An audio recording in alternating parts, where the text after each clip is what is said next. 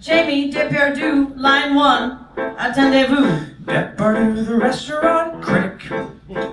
He hasn't left Paris in years. He spends his days in cafes and cabarets, driving me to tears. His spelling's completely atrocious. His turn of phrase absurd. He thinks he's pretty precocious, hate the French. I hate them all. From Toulouse, the fucking Trek to Charles de Gaulle. I can't stand the way they put that little thing above the E. I hate the French, I hate the French, I hate the French, I hate the French, I hate the French, I hate the French, I hate the French. Bonjour, Monsieur Depardieu.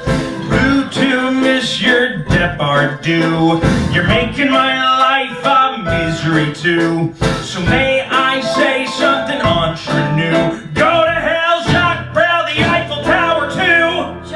Belgian. like the waffle.